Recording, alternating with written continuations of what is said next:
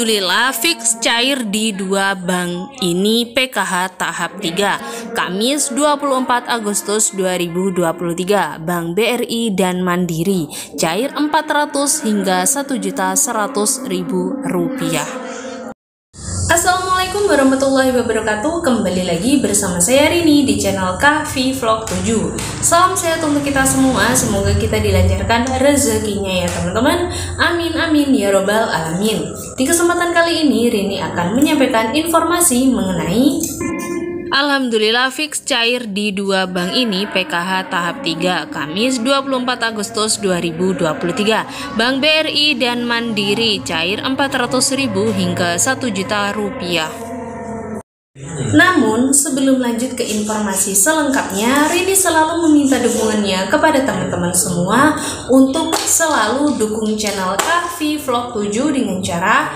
like, komen, dan subscribe channel Kavi Vlog 7 agar ini selalu semangat untuk menyampaikan informasi tentang bantuan sosial kepada teman-teman semua. Share juga ya di media sosial yang teman-teman miliki jika menurut teman-teman video ini bermanfaat bagi teman-teman yang yang lainnya juga jangan di skip ya teman-teman agar tidak menimbulkan kesalahpahaman ke depannya.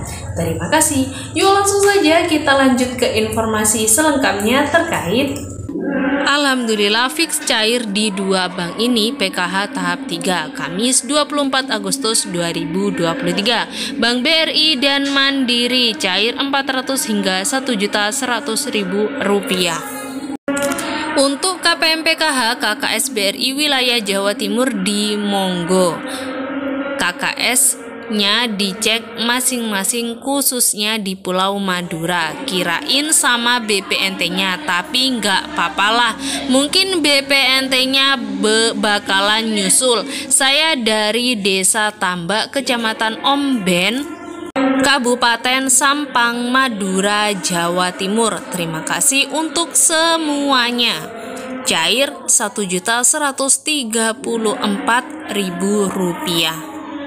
Assalamualaikum Bunda-bunda Alhamdulillah uang PKH cair hari ini Sem Sempat kaget uang PKH turun yang 1 juta lebih jadi 400 ribu Bank BRI di Sulbar Mamuju.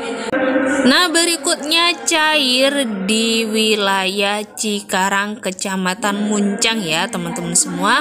Untuk PKH tahap ketiga untuk komponen lansia ya teman-teman semua Bank BRI Alhamdulillah sudah menyusul juga cairnya hari ini tanggal 24 Agustus tahun 2023 bisa dicek ya sekarang ini untuk Bank BRI yang kemarin-kemarin setelah KKS Bank Mandiri sudah cair.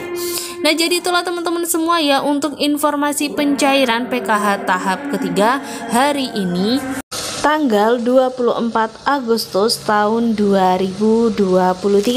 Dan demikian informasi yang dapat Rini sampaikan. Apabila ada salah kata dan keramaian, Rini mohon maaf yang sebesar-besarnya. Rini akhiri informasi ini. Wassalamualaikum warahmatullahi wabarakatuh.